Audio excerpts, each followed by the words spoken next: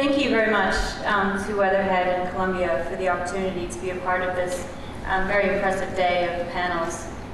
It's kind of a challenge to go last, um, so I'm going to try to be very quick.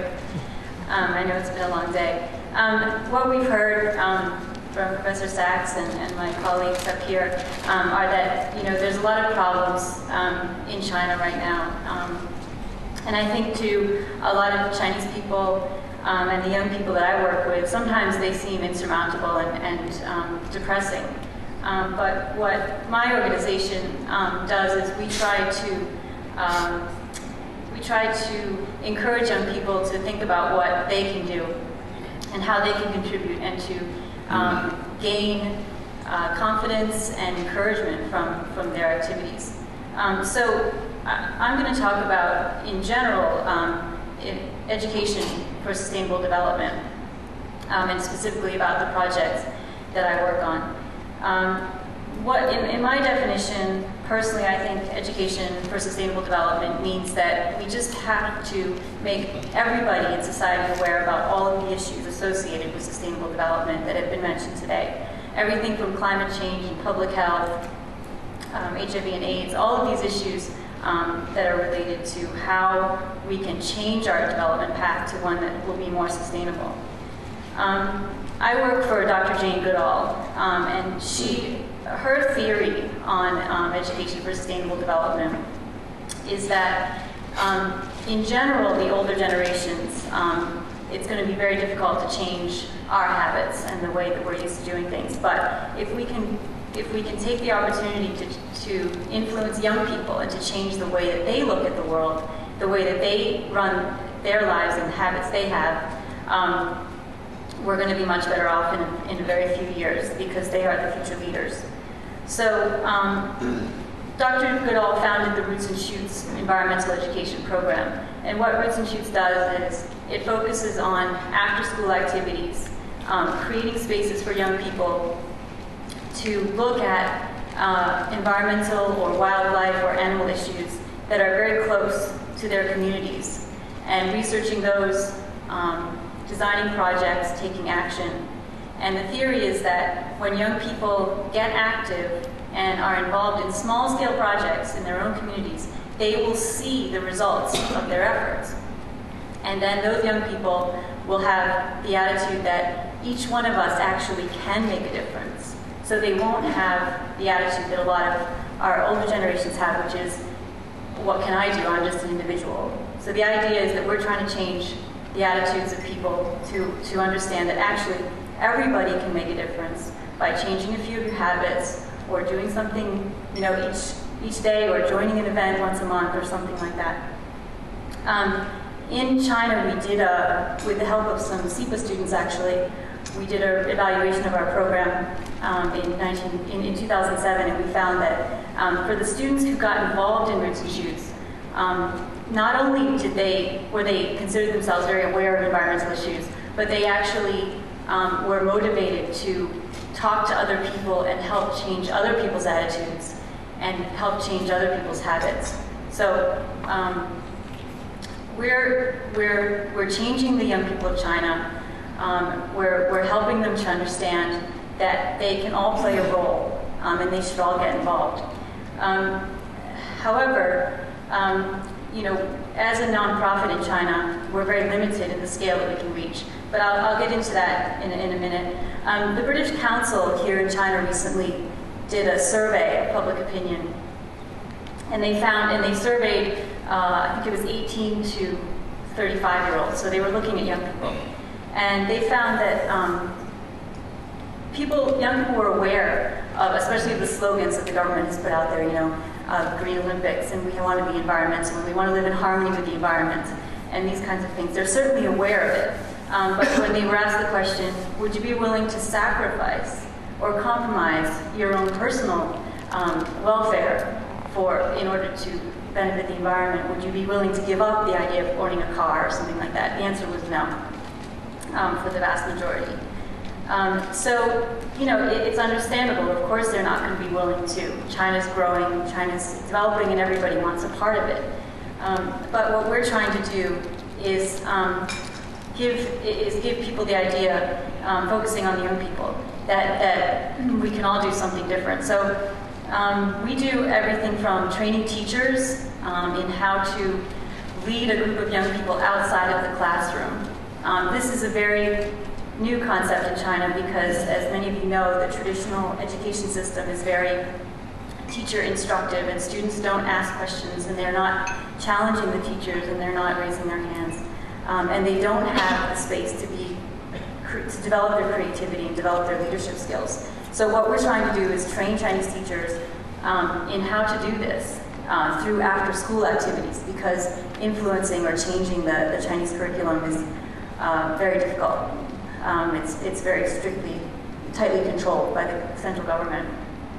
Um, so we're going through, through the after-school approach um, and really showing teachers how to take a step back, let young people run their own club, design their own projects, and come to you when they need to for specific you know, needs, um, like getting permission maybe to go into a neighborhood and do an awareness campaign or something.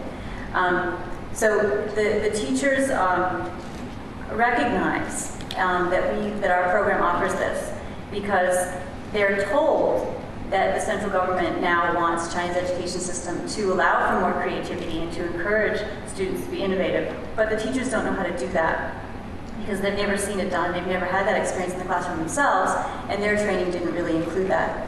Um, so that's one niche that we're filling in a way, is that we're showing Chinese teachers that this is one way um, that they can um, develop their students' creativity and leadership skills um, through after-school mm. activities, while also making an impact on the local environment. Um, we're working both in urban and rural areas. Um, the two approaches are, are very different, of course. Um, teachers in the urban areas have far more resources than in the rural areas, and the teachers in the rural areas um, are barely trained in the knowledge that they need to give to their students, never mind um, ideas like developing students' creativity or leadership skills. Um, so with the urban teachers, we're, we're able to kind of give them a training and, follow, and opportunities to follow up with us, but really let them run with it. Um, whereas in rural areas, we, we try to work much more close, much closer with, this, with the teachers, um, uh, creating programs that they can join um, so that they're not left on their own to, to help support these clubs of students. Um, sometimes it's not needed. Sometimes, sometimes you get a group of rural students um, or urban students who, who really don't even need the teacher. Um, as you know, another interesting thing about this, this time that we're working in is that all of these kids, well, most of them, are single children in the home, so they already have um, developed leadership in a way um, because they're bossing their parents around, a lot of them. And another interesting thing about the way that we work too is, is that when we influence one child, we count on the fact that they're going home and influencing two parents and four grandparents because all of these people, these six adults, are doting on this one child, um, especially in the urban areas where um, there are single child families. Um, so this is kind of uh, the way that we're working um, in China, and there's a lot more that I'd be happy to tell you about um, in, you know, later on in the reception or in the question session. Um, but I just wanted to, to talk a little bit about the, situation for a nonprofit as ourselves working in China. Um, as many of you know, the, the government rules about nonprofits are very vague. It basically says that you have to have a government bureau sponsor your registration with the Ministry of Civil Affairs. And for most organizations, that's an impossible hurdle. Um, getting a, a, government official to put their neck on the line for you, um, because if you do, if your organization does anything illegal or, or anything crazy, then, then they're going to be the ones who, who take the fall. Um, it, it's not um, feasible. So what we do is we all, all these NGOs now, there's hundreds of them working in Beijing, we've all figured out how to work around it. Um, the example of my institute for, as an example, is that we have um, for years operated under the umbrella of one of the international schools, which was actually registered as a nonprofit educational institute. So we were able to, to work in a nonprofit way and, and you know, give a receipt to donors that says that they made a donation to a nonprofit. Um, but it was, but we couldn't put our own name on that receipt. It had to be the name of this international school. And then recently, um, we registered a local company with a very minimal investment, and four Chinese friends put their name on the company. Um, and so, in that sense, we have to pay taxes. So we get donations from companies um, to support the Roots and Shoots program, but we have to pay taxes on those donations, which is unfortunate. Um, NGOs in China are playing all kinds of roles contributing to sustainability. And what my personal feeling about the organization I work for is that we've shown that we're doing a great job. We've shown that we're making a difference and impacting these young people to have a new attitude and do things differently. Um, but we're limited in the scale that we can reach because of the government's limitations on our um, registration and the way that we have to operate. Um, we also have a hard time uh, working with the government because they're, in general, suspicious of nonprofits. So if we could, various government officials have unofficially recognized us and said, you're doing a great job and we want to work with you. But they can't work with us on a, on a large scale because they have, they're, they're limited in their interactions with nonprofits. So um, that's what uh, I wanted to say today. Thank you very much.